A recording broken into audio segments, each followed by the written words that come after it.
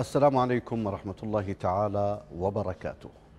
الإعلام بشقيه الكلاسيكي والبديل بات متاحا للجميع ومن ضمن هذا الجميع من هو محسوب على التطرف والحركات الإرهابية محور هذه الحلقة من برنامج لا إكراه لا يخرج عن هذه الحدود الإعلام والتطرف سنبحث كيفية استخدام وسائل التواصل الاجتماعي والفضائيات في محاربة التطرف مع ضيوفي الأعزاء. سماحة الشيخ الدكتور محمد النوري معاون مدير عام مديرية مكافحة الإرهاب الفكري وجناب الأستاذ الدكتور رعد الكعبي أستاذ الإعلام في جامعة بغداد وجناب الأستاذ صفد الشمري خبير التواصل الرقمي. تعالوا معنا لنتابع.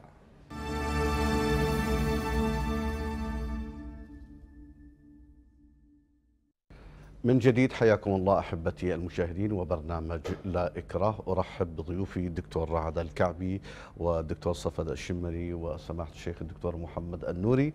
البداية معك دكتور رعد. لا شك لا توجد مبالغة إن قلنا بأن القرن الحادي والعشرين هو قرن الإعلام والإعلام الجديد والقبائلية الإلكترونية والعالم الافتراضي بل الهيمنة الافتراضية على العالم الواقعي. بين هذا كله نريد أن نعرف موقعية الإعلام العربي في خارطة الإعلام العالمي. بالبدء تحية لجنابك الكريم وضيفك الأعزاء وقناتكم الموقرة حياك الله. أنا باعتقادي المتواضع يعني الإعلام تسمية الإعلام العربي الآن ما عادت تعطي ذاك المدلول الذي كانت تعطيه عندما كانت في ظل غياب الفضائيات. اليوم يعني لا نستطيع أن نتحدث عن إعلام ينتمي إلى جهة ما نستطيع أن نتحدث عن مضامين تمثل جهة ما طيب المشكلة الكبيرة جدا الآن يعني في ظل هذا التطور الكبير لوسائل الإعلام وفي ظل رغبة الجمهور في أن يتحول من الإعلام التقليدي إذا جاز هذا التصنيف إلى الإعلام الجديد. من الصعب علينا أن نحدد إلى أي مدى يستطيع هذا الإعلام أن يبقى أولا وأن يؤثر في الجمهور ثانيا. المشكلة الكبيرة جدا الآن التي تواجه الجميع أنه وسائل الإعلام التقليدية اللي هي الإذاعة والفضائيات والصحف بدأت تخسر من جمهورها عندنا دراسة بمقدار 7% سنويا. طيب دكتور تخسرها إلى مواقع التواصل الاجتماعي. طيب قبل أن نلجا إلى هذه الأمور التفصيلية تحديدا والفرق ولمن البطولة اليوم للإعلام العادي أو الإعلام المرتبط بالافتراضيات وما إلى ذلك، قبل أن نأتي إلى هذه المساحة أريد منك باعتبارك أستاذ إعلام متخصص.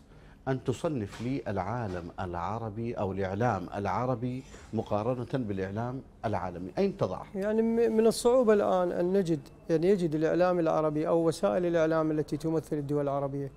من الصعوبة أن تجد لها موقع لمنافسة وسائل الإعلام العالمية. في في الفضائيات عندنا مشكلة أن الإعلام العربي يعني القنوات الفضائية العربية متشابهة التغطيات. نمطية. طيب. تأتي بعد الحدث. يعني تنتظر السلطة السياسية ما الذي تتحدث به؟ يلا تتحدث. جميل. هذا رأي مختص. أنقل الكلام إلى سماحة الشيخ النوري باعتبارك باحث وخطيب ومختص بأمور الإرهاب والتطرف. تقييمك للإعلام العربي. هل استطاع أن يجد لنا نوافذ لمعالجة مرض بخطورة التطرف؟ آه، يعني ربما أتفق مع الدكتور حقيقة أنه آه، لا طبعا لا أشمل جميع وسائل الإعلام الفضائية وحقيقة القنوات لكن آه، في الغالب هي تنساق مع الإرادة السياسية. ولهذا نجد حقيقة ويعني يا ريت أن تكون الإرادة السياسية عربية خالصة يعني. وتخدم القضايا العربية وتخدم المبادئ العربية والاقتصاد العربي والمجتمعات العربية والشعوب العربية لا بل العكس هناك يعني سياسة غربية إرادة غربية تفرض إرادتها حقيقة وتلقي بظلالها على العالم العربي وعلى المجتمع العربي ونجد حقيقة هذه القنوات الفضائية. تنساق انسياق عجيب غريب حقيقه يعني وراء هذه الايرادات وهذه الرغبات يعني.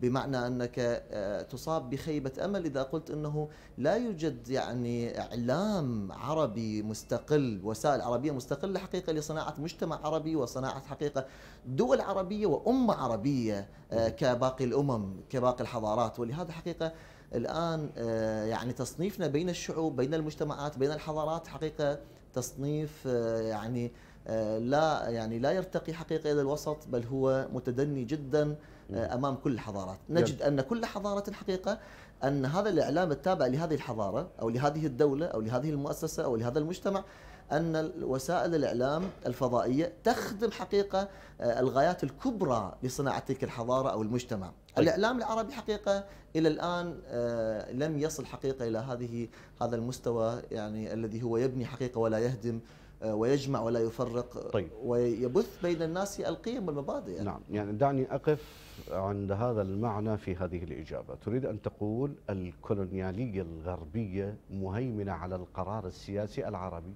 وبما أن القرار السياسي العربي مهيمن على الإعلام إذا الإعلام العربي هو منقاد بدرجة كبيرة إلى الأهواء السياسية. أنقل الكلام إلى دكتور صفد. ذات السؤال الأول الذي سألته للدكتور رعد. موقعية الإعلام العربي في خارطة الإعلام العالمي. حياك الله دكتور ناجي حياك وحياك الله. الكريمين. آه، أنا أعتقد إن رغم المؤاخذات اللي أشار إليها دكتور رعد سماحة الشيخ فيما يتعلق في بعض ال- التموضعات الخاطئة في الإعلام العربي لكن أعتقد متواضعا أن هناك بعض الوسائل استطاعت يعني تجاوز حدود ال- ال- الوصول إلى العالمية وخصوصا ما يتعلق ببعض القنوات الفضائية وشكلت حضورا في هذا الاتجاه. هذا الحضور عليه مؤاخذات عليه لكن هو موجود. طيب. يعني تلاحظ هناك بعض القنوات الفضائية بعض المسميات وخصوصا بعض القنوات اللي تتبع إلى بعض دول الخليج. نلاحظ أنه قدرت أنه تتخطى الحاجز العربي الحاجز المحلي انجاز التعبير طيب. بالوصول العالمية بصرف النظر عن المؤاخذات عن خطابها الإعلامي لمن يخدم وكيف يخدم سواء بالطريقة مباشرة أو غير مباشرة. هذا كله ساعد إنه في قضية حكم تخصصي ما يتعلق في قضية ال- الظاهرة الرقمية، الظاهرة الرقمية عززت من هذا الاتجاه. وبالتالي صارت إنه كل وسائل هذا وهذه وسائل متعددة بتعدد أشكالها ومضامينها إنه وظفت تلك الأدوات الأدوات الرقمية أقصد في قضية الوصول إلى العالمية من خلال انه مثل ما تعرف إنه الإنترنت اليوم أتاح مجال للوصول بشكل أكبر طيب. هذا بالتالي ساعد من قضية في هذا الوصول لكن بالمقابل أثر على طبيعة المضامين اللي اشار لها دكتور رعد إنه فقدت الكثير من بريق المهنية المعتاد وال- والمعروف واللي إحنا نتفق عليه في طيب، عام يعني وهي سمات هذه المهنية. فيما يخص بريق المهنية ربما سأسأل لاحقا هل أن المنظومة الإعلامية العربية تعاني من ضعف التدريب من ضعف التعليم قياسا إلى الأخرى والحال عندما نعمل مقارنة بين برنامجين في ذات المضمون برنامج في المنظومة الغربية وبرنامج في المنظومة العربية نجد أن هناك بون شاسع. ولكن فيما يخص المضمون بالنسبة للظاهرة الرقمية ألا ترى أن هذا المضمون أيضا تم اجتياحه وأيضا تم توظيفه من قبل مريدي التطرف لصالحهم؟ بالتالي بات هذا ال- الإعلام وهذه الظاهرة الرقمية مروجة إلى مرض خطير. هي وصلت إلى هذه النتيجة لماذا أو كيف؟ بعد إنه طبيعة إدارة المؤسسة الإعلامية تختلف، تعرف حضرتك إنه المؤسسة الإعلامية لديها سياقات، لديها وضع معين. اليوم وسائل التواصل الاجتماعي الاوعيه الرقمية صارت متاحة للجميع، فبالتالي هيئت الفرصة لكل من هب ودب إلى أن يكون محتوى وهذا المحتوى يطلق عليه المحتوى الرائج، وهذا الرائج بالتالي صار هو يعني مقياس التأثير، يعني قبل حينما نبحث عن التأثير وما هو مقياس التأثير فيما يتعلق بالمضامين الإعلامية إنه بمقدار التغيير الذي يحدثه في لدى المتلقين، طيب. اليوم التأثير صار بمدى الرواج، بمدى إنه إيش قد وصل هذا الرواج، فبالتالي هذا الرواج وهذا خلينا نقول الفوضى الرقمية أدت إلى انه إنه كل من هب ودب يصنع محتوى معين بطريقة معينة وهذا المحتوى بالتالي بدأ يصل إلى إلى إلى مستهدفين بشكل عريض وواسع. هذا كله ساعد في قضية إنه تكون واحد من نتائجه أيضا إنه موضوعة التطرف وموضوعة لأنه ليست هناك منظومة معينة تتحمل مسؤولية هذا الخطاب وتنمقه وتقدمه بالشكل المسؤول. طيب.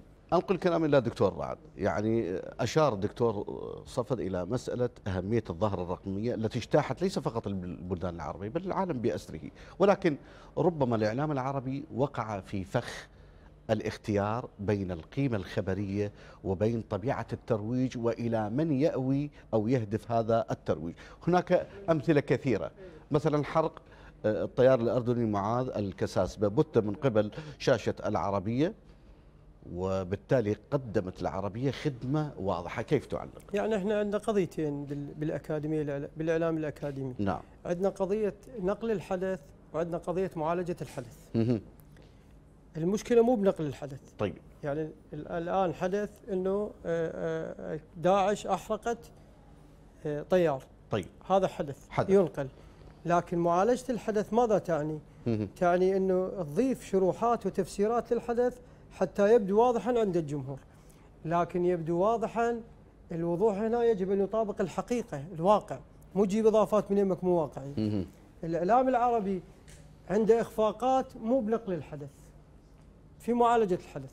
جميل. لأن هو يتبع إلى تفسير السلطة السياسية. السلطة السياسية هنا تصبح جزء تبنى التغطية الإعلامية على رأي السلطة السياسية. مهم. في الغرب لا. السلطة السياسية تكون جزء من التغطية. مهم. رأيها جزء من مجموعه آراء. طيب. عندما تبني أنت يعني آه، تبني تغطيتك الإعلامية في معالجة الحدث على رأي السلطة السياسية فأنت أما تبرره. أو تدعمه ما تقدر تنفيه. طيب. في الإعلام العربي لا ينفى راي السلطة السياسية. اذا الخلل في المعالجة. فهذه تخلق لديك يعني تصور أحادي للحدث هذا الشيء. إحنا عندنا أكو الإمكانيات وأكو القدرات. إحنا والإعلام الغربي نتفق بهاي القضية. طبعا لاحظ إن التلفزيون احتاج إلى 25 سنة حتى يصل إلى 50 مليون. بينما الفيسبوك احتاج إلى أربع سنوات ونصف حتى يصل إلى هذا العدد. هذا التسارع ماذا يعني؟ يعني أكو امتياز بالإمكانية وامتياز عند الجمهور. الجمهور تحول الآن من متلقي إلى مشارك في صنع الرسالة الاتصالية عبر. مواقع التواصل الاجتماعي. ما عاد ذاك الجمهور المتلقي السلبي. الآن الكثير من ال... هسه إحنا جاي نشوفها عندنا بالبلد. عندنا الرأي الرسمي يطلع عبر ال... ال... ال- القنوات كلها لكن هنالك رأي الرأي العام. يظهر عندنا عبر المواقع عندنا البرامج التفاعلية. المشكلة أين تكمن؟ تكمن إنه الغرب لديهم إمكانيات وبموازاتها لديهم قدرات. هسه القدرات تتعلق بالقناة الفضائية إيش قد تمتلك يعني فسحة حتى تعطي ميزانية إيش قد طيب. عندها دورات تدريبية إيش قد كذا. إحنا عندنا مشكلة وين؟ بالقدرات. طيب فقط قبل قليل قلت لدينا مشكلة في المعالجة في المعالجة إيه، وأعتقد أن المعالجة هي خاضعة لطبيعة الأيديولوجية إيه، المحركة للقناة. لهذه إيه. المؤسسة الإعلامية إيه. طيب الكلام مرة أخرى أنقله لسماحة الشيخ التطرف بات آه، نقطة انطلاق للعديد وأقصد الخبر الخاص بالتطرف للعديد من المؤسسات الإعلامية ولكن المؤسسة الدينية هل نجحت في تصدير الخطاب المضاد للتطرف عبر المؤسسات الإعلامية؟ يعني أعتقد أنه آه، توجد محاولات يعني في آه، بعض الدول العربية والإسلامية آه، في مسألة أنه آه، يعني يكون الخطاب المعتدل، الخطاب الوسط، الخطاب ال- الذي حقيقة يعني يبني، الخطاب الذي يجمع، الخطاب الذي يوحد، الخطاب الذي يحاول أن يعالج ويحاول أن يظهر حقيقة صورة الإسلام المحمدي الأول المشرق يعني. لكن آه، يعني آه، ربما أتفق مع جنابك أنه لم تصل حقيقة ولم يصل هذا ال- الخطاب وهذه الرؤية من المؤسسات الدينية إلى حقيقة مسألة الطموح، لا زلنا. حقيقة آه، نجد هنا وهناك وهناك لكن لأنه سبب ال- ال- آه، انتشار الرقمي الهائل وأصبحت حقيقة وسائل الإعلام ال- يعني التواصل الاجتماعي هي متاحة لكل يعني الإرهابيين ولكل المتطرفين ولا توجد هناك رقابة ولا توجد هناك قدرة كما تفضل الدكتور لا توجد هناك قدرة بالتحكم يعني بمعنى أنه آه، لا توجد قدرة للمؤسسة الحكومية أو الدولية على أنه تحجب بعض يعني مقاطع الفيديو، بعض المنشورات، بعض ال- الخطابات المتطرفة يعني عن أجيالنا ومجتمعنا وشعوبنا. هذا حقيقة أعطى فرصة كبيرة آه، لتسويق آه، الخطاب المتطرف، تسويق الكراهية، آه، تسويق أيضا آه، العصابات التكفيرية الداعشية والقاعدة وكل من حقيقة سعى إلى سعيهم. وتعرف جنابك هنا يعني أضع يعني علامة استفهام يعني أمام القنوات الفضائية ووسائل الإعلام أنها دائما تهتم تهتم بالقضايا السلبية. بمعنى أنه نجد كثير من القنوات آه، يعني تنتج برامج صناعة الموت وكثير من البرامج تنتج برامج أو قنوات تنتج برامج يعني لإثارة الفوضى. والشحن الطائفي وبث الكراهية بث البغضاء آه، بين الشعوب والمجتمعات. بالمقابل آه، ال- البرامج والقنوات التي يعني تبث السلام تبث الرحمة تبث المحبة قليلة أو نادرة جدا. يعني. لطيف هذا المعنى ربما البعض قد يفسر ما قاله سماحة الشيخ. أنا طبعا أتكلم بشكل عام لا أخص الجميع طيب. بينما هذا الغالبية. هو كلام واضح لكن البعض ربما قد يفسره بأن سماحة الشيخ يريد أن يجعل منظومة من التابوهات يجب أن لا يتقرب منها الإعلام سواء كان بشكل كلاسيكي أو البديل. بعد الفاصل أسمع منك التعليق على هذا الموضوع. دكتور صفد أحبة المشاهدين فاصل قصير أول ثم نعود إليكم.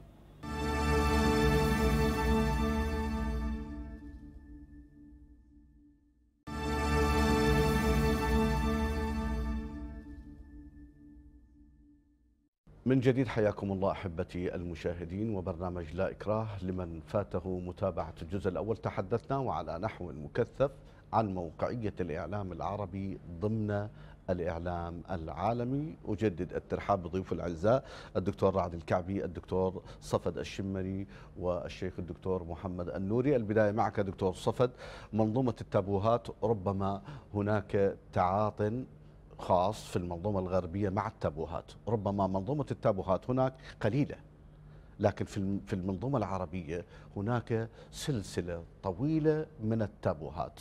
هذا التابوه البعض ربما يقول لم يفلح الإعلام العربي في معالجة كما أشار قبل قليل الدكتور رعد آه، التعاطي مع هذا هذه التابوهات. أين الخلل؟ هل يجب علينا أن نحدد منظومة للتابوهات؟ أن نقلل هذه التابوهات أو نحدد زوايا المعالجة. يعني نتحدث عن القليل في الغرب وعن عن وعن الكثير لدينا في منظومتنا الإعلامية العربية. طيب. لكن أتحدث عن الجانب ال- الرقمي. أعتقد أن القليل في الغرب هو أكثر اثرا وسيطرة حتى على الكثير لدى العالم العربي. كيف. كيف؟ نعم. يعني هناك مضامين إعلامية أو مضامين ذات بعد جماهيري تنتشر عبر الأوعية الرقمية.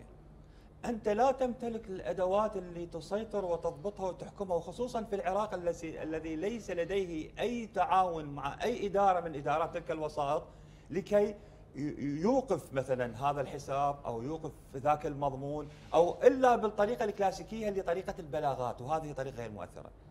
في حين تجد أن هناك منظومة رقمية غربية تتحكم حتى في مضامينك أنت فيما يطلق عليه ليس فقط بالحذف مهم. وإنما بالتحييد، أي ماذا يعني التحييد؟ جميل هذا التحييد الرقمي اللي تعاني من عنده وخصوصا المؤسسات اللي ذات البعد الديني. لدينا في العراق.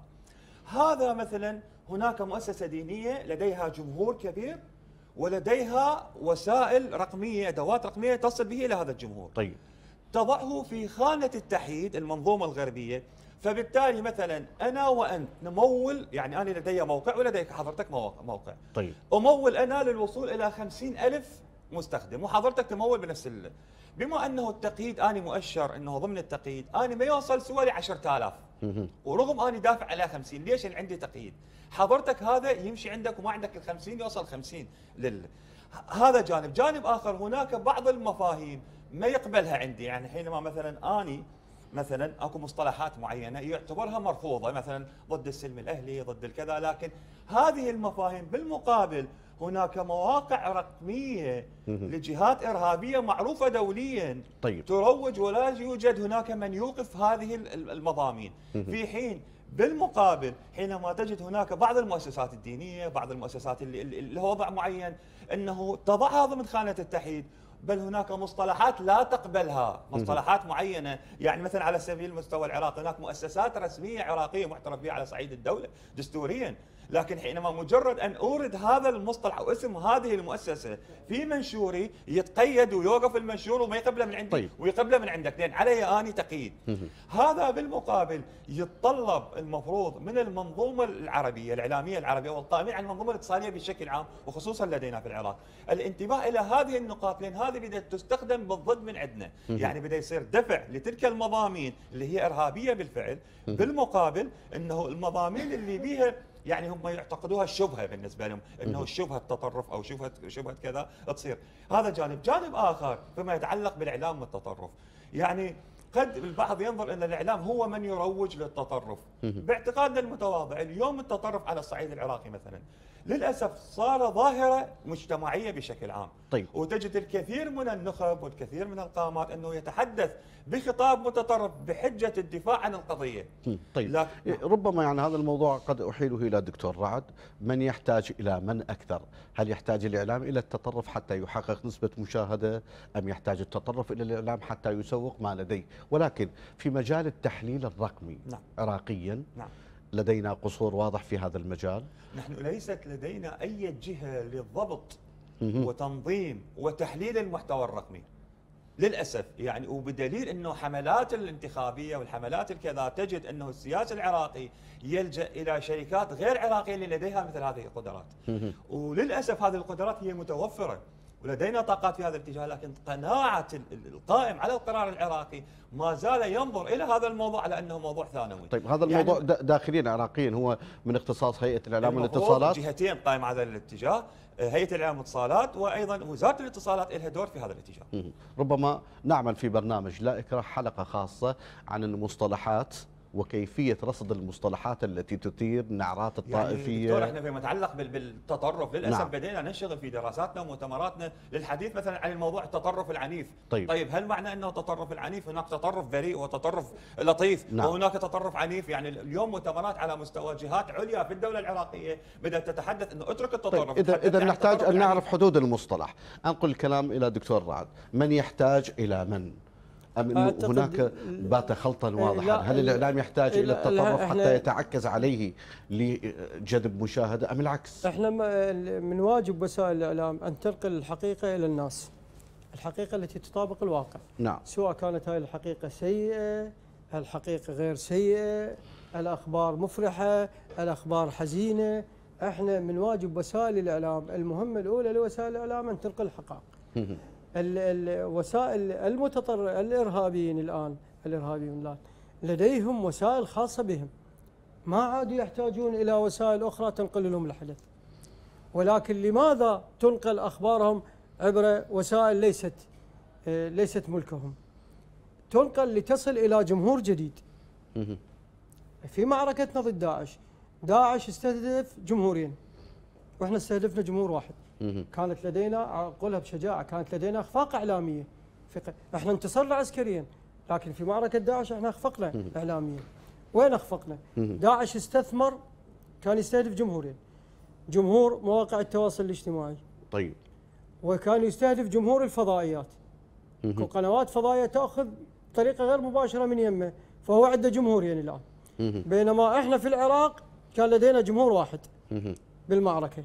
هو جمهور فقط الفضائيات. جمهور فقط الفضائيات. وأنا عندي ناس مختصين قالوا من الإخفاقات الكبيرة قالوا في معركة داعش طيب. جبنا جبنا منصة. نعم. نقول لهم يابا تعالوا احكوا ما عندنا الضباط ليست لديهم قدرة. اللي اشتركوا بالمعركة. لديهم قدرة عسكرية بس ما عندهم قدرة إعلامية يقفون أمام كاميرا ويقنعون الجمهور بالذي حصل. طيب قبل قليل تحدثت عن جمهورين أو نوعين من الجمهور إيه، يستهدفهما عندنا داعش جمهور عندنا إذا جمهور. مواقع التواصل الاجتماعي إيه، وجمهور الفضائيات الفضائيات. طيب. عندنا عندنا إذا خل اخدمك هذا تصنيف للجمهور على أساس الوسيلة. طيب. لكن أكو تصنيف للجمهور أكو مؤيد. واكو معارض. وأكو محايد. طيب. وقف على الدراسات الكل. الإعلامية كونك أستاذ الإعلام في كلية الإعلام في جامعة بغداد. جامعة وكلية رصينة. هل توجد لديكم دراسات قائمة على أساس وجود استبانات حقيقية؟ لمعرفة سيكولوجية الجمهور الموافق لداعش. سيكولوجية لدينا- الجمهور لدينا- المضاد لداعش. راح أضرب لك مثال على دراستين. واحدة مالتي اني واحدة مال دكتور لا عمار. ومال دكتور سعد معا تفضل. آه، الدراسة مالتي كانت على المراسل الحربي ودورة في نقل المعلومات العسكرية إلى الجمهور خلال أزمة داعش. سوينا استمارة على الجمهور. قلنا لهم يعني أنتم منو اللي شاهدتوا؟ طبعا بالمناسبة. قد هسه يشتكون علي المؤسسة العسكرية. أكثر ناس الجمهور- تحليل، هاي إيه، عملية أكثر ناس تحليل. عندي البحث. البحث اخذت يمكن نعم. الدكتور صفد اخذت عليه الترقية مال الاستاذية.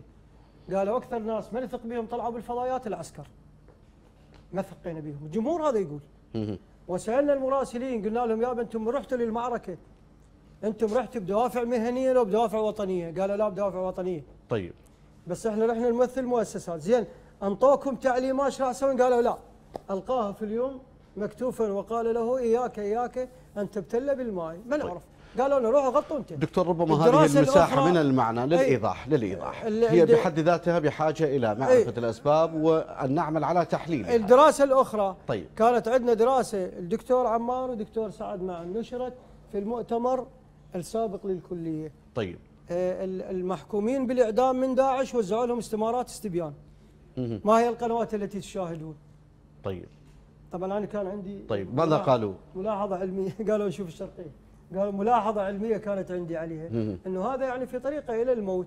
من يقول إنه إجاباته صحيحة. بعدين يعني من سال الدكتور عمار الدكتور سعد قنعوني. سالوهم قالوا لهم أنتم المضامين التي يعني تصرون أن تطلع مضامينكم هاي القنوات قالوا نعم. هاي طبعا الاستبيان موجود منشور. طبعا والدولة لم تستفد منه. طيب نتمنى على الدولة وعلى الجهات المختصة أن تأخذ هذه الدراسات. على مأخذ الجد وتعمل على بيان نتائجها. ولماذا؟ أنقل كلام لسماحة الشيخ النوري التطرف والمتطرفون كما أن الإنسان المعتدل الكيس يستخدم مواقع التواصل الاجتماعي والإعلام هم كذلك. ولكن في المقابل لماذا يعطون آه، أمور جاهزة فيما يخص الدخول والولوج إلى مواضيع كالتطرف واستخدامها وتوظيفها بشكل غير صحيح مما يجعل الكثير من شبابنا الكثير من أناسنا الذين الذين لديهم معلومات بسيطة أن يكونون فريسة لهذا الإعلام. يعني السبب الرئيسي يعني آه، أوعزه إلى المؤسسات الدينية والإعلامية والمؤسسات الرصينة في الدولة العراقية المؤسسات الأمنية في الدولة العراقية والتعليمية والتربوية وأيضا الرقابية ذهبت إلى معالجة الحدث معالجة التطرف العنيف كما تفضل الدكتور قبل شوية. ما ذهبنا إلى حقيقة أن إلى معالجة الفكر المنتج للتطرف. الجذور اللي أنت أي إحنا عندنا عندنا مدارس مدارس مشخصة على أنها منتجة للقاعدة ومنتجه للنصرة ومنتجه لداعش. هو ناعمة. القوى الناعمة. فهذا منطينا مساحة واسعة. الآن مؤتمرات دولية تعقد على مستوى المنظمات الدولية.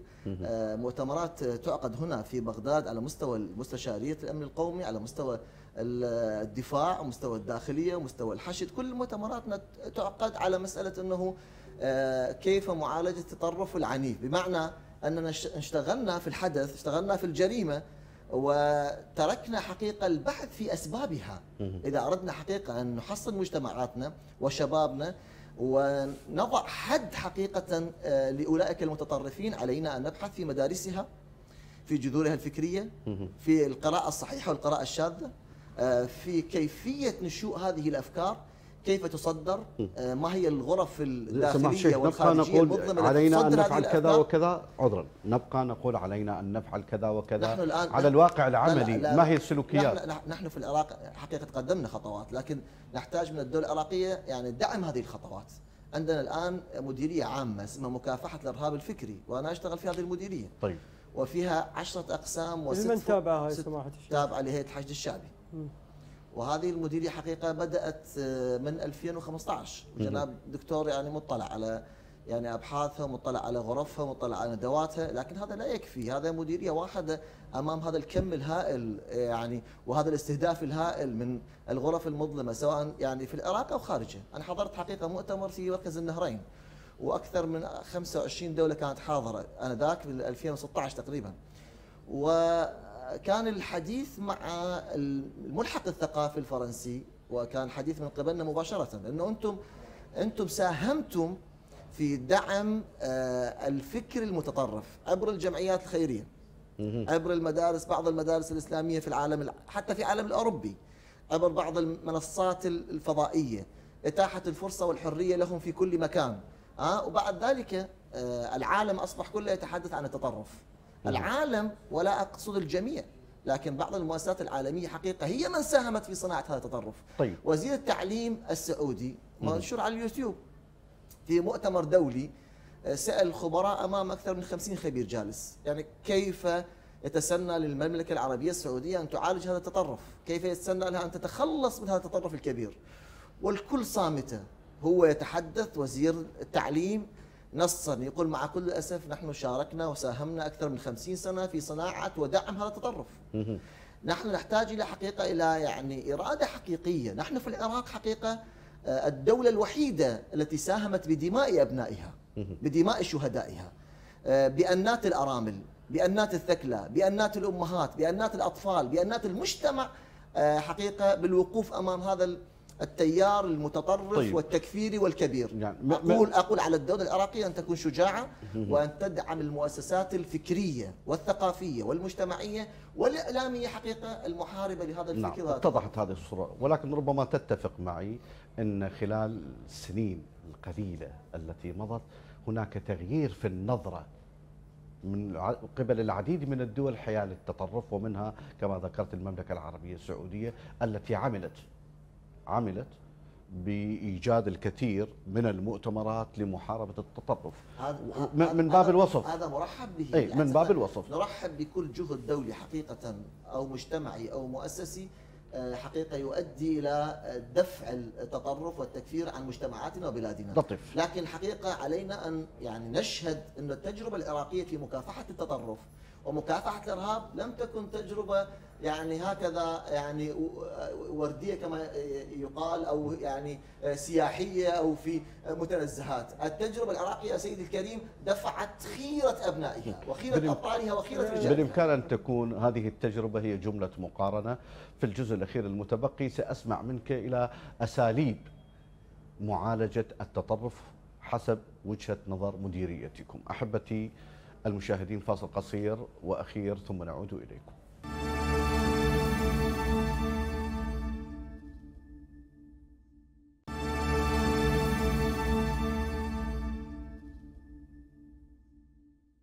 من جديد أهلا بكم أحبتي المشاهدين والجزء الأخير المتبقي من هذه الحلقة في برنامج لا إكراه الإعلام والتطرف البداية معك في هذا الجزء. قبل أن ألج إلى مسألة ما بعثه متابعي البرنامج من أسئلة سؤال واحد ثم أبدأ.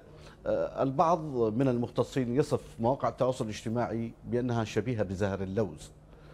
يعجبك منظره وهو على متن الشجرة ولكن ما إن تصل إليه حتى تجده يتلاشى. بمعنى أن جل ما ينشر ربما لا حقيقة له أو لا مرجعية له. هذا يعني أن الدس كثير. وأغلب الذين يقعون في فخ هذا التدليس هم الشباب.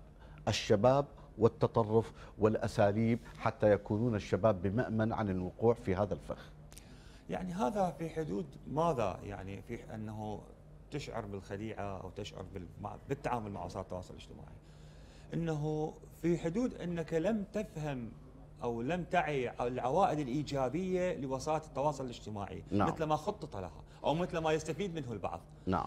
عربيا عربيا هناك بعض الدول الدول الجوار استطاعت تمكين هذا الموضوع أو تمكين الشباب من هذا الموضوع بالاتجاه الإيجابي بالنسبة لوجهة نظرها. إحنا للأسف على الصعيد العراقي ما زلنا لحد هذه اللحظة إنه مجرد إنه ننظر إلى الموضوع متفرجين موقف الصدمة طيب ونتعاطى معه شلون مثلا يوم بيومه هيك الموضوع ما نتعامل وياه على افق تخطيط استراتيجي وتدريب وتأهيل وهذا الاتجاه. نلاحظ أنه في دول المنطقة هناك هناك صفحات اليوم بدأت تخصص للشباب العراقي. مثلا فلان مبدع شاب عراقي مبدع في فلان مكان. فبالتالي تسوي لقاء حتى تروج له من باب الرواج. وهو يشعر بال- بال- بالفضل والامتنان إلى الدولة التي صاحبه تلك الصفحة لمجرد أنه يعني تنشر أو نعم. تتروج له.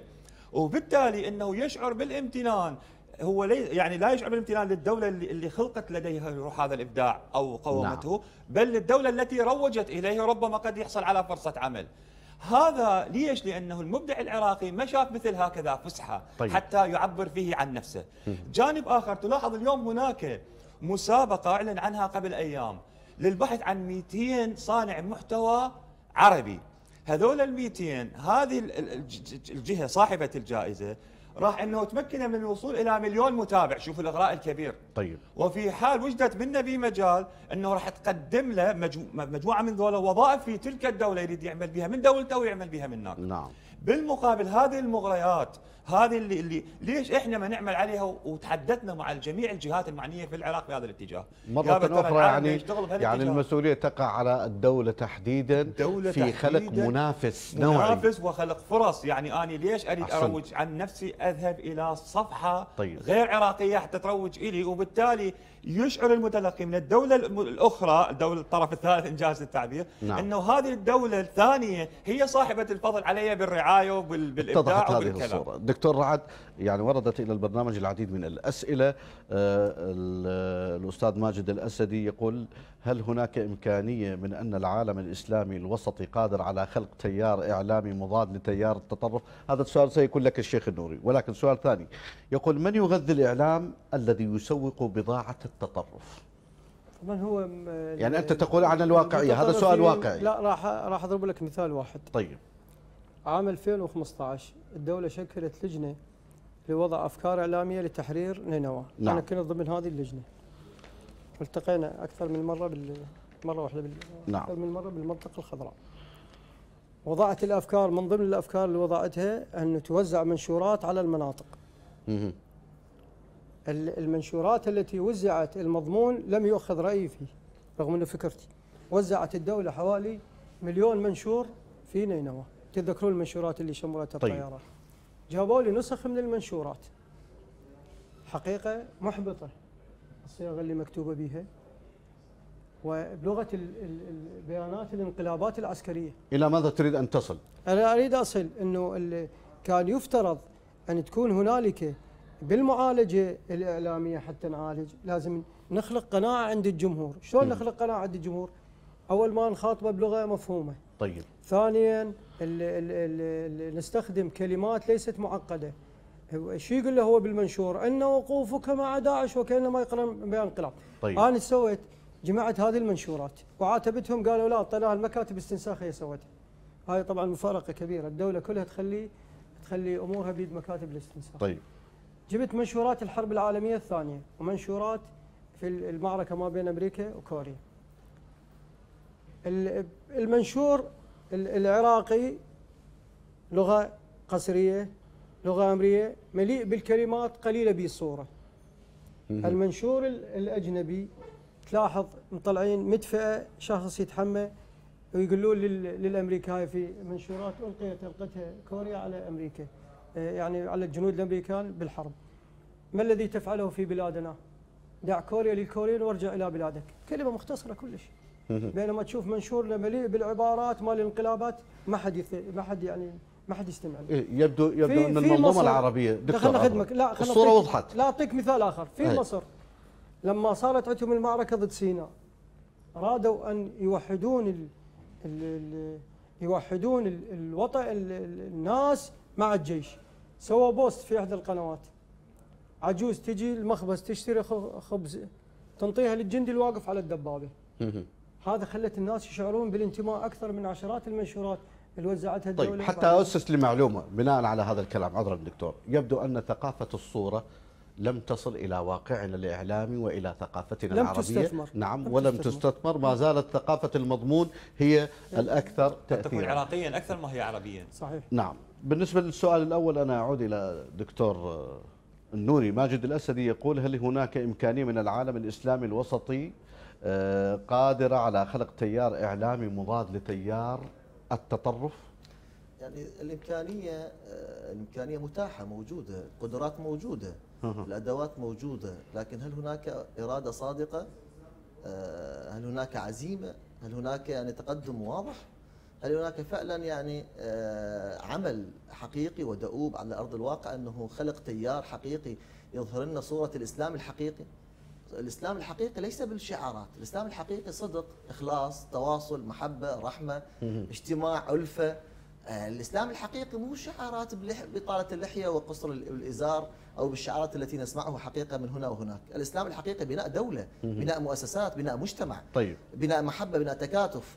يعني القدرة موجودة، الإمكانيات موجودة لكن حقيقة إلى الآن آه، يعني آه، لم نصل إلى تحقيق هذا الطموح. طيب. دكتور صفد الباحث والكاتب الأستاذ طه الخزرجي أيضا وجه سؤال إلى البرنامج حول هذا ال- ال- الموضوع. يقول الإعلام هو الحلقة الأهم بين الواهم والمتوهم مستغلا التدافع الطائفي لخلق تطرف. كيف تعلق على هذا الكلام؟ هو إذا كان الحلقة الأساس الحلقة الرئيس هذا لو افترضنا أنه هناك نية لوجه الله في قضية الإعلام، لكن الإعلام مثل ما معلوم هو ممارسة غائية ولديه هدف، مشروع استثماري. فبالتالي هو يسوق. مشروع استثماري. مشروع استثماري وليس وليس بالضرورة الاستثمار مادي قد يكون طيب. استثمار فكري. استثمار كذا. نعم. فبالتالي نعم اليوم الإعلام يعمل على مو- موضوعة أو يركز على موضوعة الترويج إلى موضوعة التطرف بل ربما بات هو ال- الخبز الأساس أو الركيزة الأساس لانطلاقه للوصول إلى الجمهور اللي هو يستهدف. طيب دكتور رعد إذا أردنا أن نصنف أو نعمل قائمة بالتحديات التي تواجه الإعلام اليوم أنا أول شيء لازم يحدد علاقته مع السلطة السياسية. والشيء الثاني لازم يطور من إمكانياته في معالجة الحدث مو في نقل الحدث. والشيء الآخر أنه يعني آه، وهذه أعتقد يعني من الصعب أن تتحقق بجميع الدول العربية يجب. على الإعلام أن ما يبقى خلف السلطة السياسية أن. يكون مع السلطة السياسية. ربما هذا طرف لا يتوفر في المنظومة العربية إيه إلى حد كبير. مو بكل الدول يمكن يتوفر نعم يعني عموم الإعلام اليوم هو تابع إلى الايديولوجيا السياسية ولكن البعض ربما يقول لا يوجد لدينا إعلام عربي بل يوجد لدينا إعلامات عربية وهذا التعبير يعني للاعلامي جورج قرداحي هذا ال- ال- ال- الموضوع موضوع الإعلام العربي ربما انتهى مع مع التسعينات الق- القرن الماضي، الآن نعم. موجود لدينا يعني أكو بعض الدول لديها إتاحة كبيرة جدا فتشوف وسائل الاعلام تشتغل بحرية. مصر، العراق لديهم إتاحة، لبنان، هنا المغرب، ال- الجزائر لديهم إتاحة، لكن بعض الدول مثل هذه الاتاحه الآن ما وصلوا لها. وإن شئت أسمي هذه الدول اللي سميتها بس ما أريد أسميها. طيب ال- المشكلة وين؟ اللي ماكو ما تشعر في ال- القنوات الفضاء أو الوسائل الإعلام العربية ما تشعر عندهم يعني آه، نفس لي مو عند الكل عند عند الأغلبية لتطوير وضعهم. ولا لتحديد علاقتهم بالسلطة السياسية ولا علاقتهم بالمجتمع. طيب سمحت شيخ ثمة سؤال ادخرته إلى هذا الجزء قلت التجربة العراقية في مكافحة التطرف تجربة يجب أن تدرس وبالإمكان أن تكون جملة مقارنة حتى يستفيد منها الآخر والسؤال هنا يعني ما الأساليب التي استخدمت من قبل الجهة المختصة التي تنتمون إليها وهي مديرية مكافحة الإرهاب الفكري لأجل الحد من التطرف الفكري تحديداً؟ حقيقة التجربة العراقية كانت في هذه المنظور في هذه الزاوية كانت صاحبة أو ذات إيجابيات كلش عالية. إحنا حقيقة في معركة تحرير الفلوجة وأيضا الموصل كان عندنا برامج فكرية مباشرة مع مع داعش. من ضمنها كان عندنا برنامج في العراقية أيضا آه، أنتج منه أكثر من 66 حلقة. وهذه تناولت مفردات يعني الحكم لدى داعش. آه، مفردات الخطاب الأحكام الشرعية. آه، طريقة تسويق داعش وتغريرهم بالآخرين. طرق الحكم آه، طرق الهيمنة آه، طرق نشر الفكر يعني في المناطق في الأنبار وصلاح الدين ونينا وديالى وهذه المناطق جميعها. آه، كانت المعالجة التجربة العراقية كانت متعددة. في الطور الأول عبر الحوار الحوار المباشر وعبر الندوات المتخصصة عبر المهر- المهرجانات وأيضا عبر آه، يعني اللقاءات المتعددة والمباشرة مع السجون العراقية. اللي تم اعتقالهم من قبل داعش كنا حقيقة نذهب إلى محاورتهم وتسجيل ما هي النقاط وما هي الإخفاقات وكيف ممكن حقيقة يعني أن تخرج يعني الناس الذين غرر بهم حقيقة وإقناعهم على انه هذا يعني ليس آه، لا يمثل الدين الإسلامي الحقيقي ولا يمثل الإسلام. ومن أعظم هذا حقيقة نحن حقيقة استطعنا أن نخرج الصورة المشرقة على أن الإسلام المحمدي الأول إلى علامات إلى دلائل إلى قيم إلى مبادئ إلى صورة واضحة وكنا حقيقة نضع صورة الإسلام الذي جاء به رسول الله. مقابلها صورة إسلام داعش مثلا الإسلام المحمدي رحمة للعالمين إسلام داعش قتل وذبح ودماء الإسلام المحمدي يعلم الناس اقرأ باسم ربك الذي خلق. إسلام داعش هدم للجامعات وضرب للبنى التحتية والمدارس والتربية والتعليم. إسلام المحمدي جاء يسروا ولا تعسروا بشروا ولا تنفروا إسلام داعش جاء بالتعسير والتنفير وينتهي المطاف به إلى التفجير. الإسلام المحمدي جاء آه، باحترام كل الديانات الأخرى. لا إكراه في الدين قد تبين الرشد من الغي جميل. إسلام داعش جاء بالقتل. آه، الأساليب التي اتبعناها منها أنه إظهار الصورة المشرقة للإسلام الأول بما يقابل حقيقة هذه الصورة التي جاءت صورة سوداوية وصورة القتل هكذا أحسنتم دكتور صفد هل نعاني في العراق من أمية تواصلية رقمية؟ نعاني من أمية خطيرة وامتداداتها تستمر أو أو تتجه في جميع ال- ال- ال- مهم. النواحي يعني في التعليم في التعاطي في في الصناعة النجومية في المنتج الوطني في كلها اليوم الظاهرة الرقمية صارت على تماس مع جميع الممارسات. لكن للأسف هذه الأمية إحنا مشكلتنا أنه ليست لدى المستخدم بل هذه الأمية تمتد من صاحب القرار وصولا إلى هذا المستخدم. اليوم المفروض على وسائل الإعلام أو أو على الجهات القائمة عفوا على الجهات المعنية في هذا الاتجاه إنه تبدأ بتنظيم المهارات الرقمية عن طريق التحفيز، عن طريق إنشاء أكاديميات تنمية مهارات رقمية، عن طريق إيجاد تشريع. لحد اليوم مثل ما تعرفون ما عندنا قانون الجريمه الالكترونيه، المسودة اليوم الموجودة ما بها بها بها خلل كبير فيما يتعلق مثلا فيما يتعلق في موضوعه الدليل الرقمي، حينما نتحدث مثلا عن تطرف فالمفروض هذه جريمة، هذه الجريمة المفروض مقابلها دليل، لكن التطرف الإلكتروني تتطلب وجود دليل إلكتروني، لكن اليوم في مسودة لم تشرع. وهذه المسودة لا تتحدث عن دليل إلكتروني، فبالتالي إحنا ماكو ما ماكو نفع وماكو فائدة من إنه توصل بقانون. وحتى لو شرعته رغم التحفظات اللي صارت عليه لكن أكو به هذه نقاط الخلل. ورغم إنه ناقشنا هذا الموضوع مع الجهات المعنية بهذا الاتجاه لكن للأسف يتحاور وياك ويتناقش وياك وبعدين بيتك بيتك وما ما ماكو بال نعم اليوم نعاني في العراق من أمية رقمية خطيرة وآثارها تزداد يوما بعد يوم. عذرا دكتور فيما يخص الجمهور المحايد يعني هل يعتبر أيضا بمرمى الحركات الإرهابية المتطرفة؟ اي بس هم ما يركزون عليه. يعني ال- الدراسات اللي اللي عندنا تشير إلى أنهم يركزون فقط على الجمهور المؤيد لهم. لأن هم بطريقه بطريقة الطرح مالتهم يحاولون أن يجندونه. مو يبقونه بس جمهور. يتحول إلى منتمي لهم. فطريقة خطابهم تختلف عن طريقة ال- الخطاب للجمهور المحايد أو المعارض. هناك تبريري. لكن هنا يريدون يصبح جزء من التنظيم. آه، مهمة الإعلام الوطني أنا باعتقادي أنه آه، تحاول بطريقة أو بأخرى أن تخلق يعني أول شيء لازم ترصد ما الذي تقع لها المواقع بعدين تخلق رسائل مقنعة تستطيع أن تأخذ حتى الجمهور اللي منتمي إلى داعش تستطيع أن مهمة الوطني. كلمة أخيرة سماحه الشيخ ماذا تريد أن تقول؟ الدولة العراقية عليها حقيقة أن تجعل التربية والتعليم في الصدارة وأن تحيد الخطاب الديني عن التأثير السياسي والطائفي. هذا من جانب ومن ثم أخرى علينا حقيقة أن نعمل على تحسين مجتمعاتنا من بعض آه، مواقع التواصل الاجتماعي وبعض وسائل الإعلام التي حقيقة هي آه، مأول هدم وليس مأول بناء. شكرا جزيلا للباحث الإسلامي سماحة الشيخ الدكتور محمد النوري معاون مدير عام مديرية مكافحة الإرهاب الفكري. والشكر أيضا موصول إلى الدكتور رعد الكعبي أستاذ الإعلام في جامعة بغداد. والشكر أيضا إلى الأستاذ الدكتور صفد الشمري الخبير أو خبير التواصل الرقمي. شكرا لكل هذه الإضاءات والشكر موصول لكم أيضا أحبتي المشاهدين. نلتقيكم وحلقة أخرى من برنامج لا إكراه في أمان الله.